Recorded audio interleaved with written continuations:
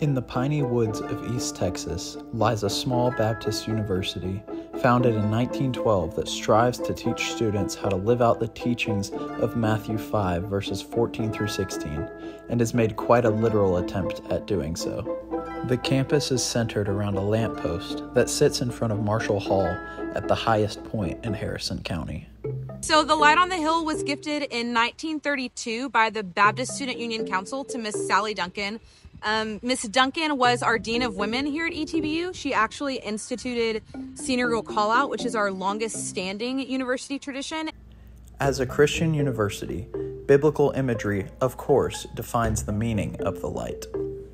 Matthew 5 14 through 16 says that we are the light on the hill, a city that cannot be shaken. In the same way that you would not put a lamp underneath a pot, um, we should not have our light dimmed for anything, anybody, any reason. Instead, our light should be seen by all so that everyone can see the goodness and the works of Jesus and bring honor back to Christ.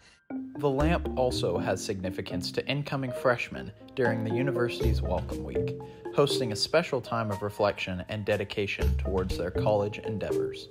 Our welcome week here at ETBU is called Tiger Camp, and that is a tradition for all new students, freshmen, or transfers to the university.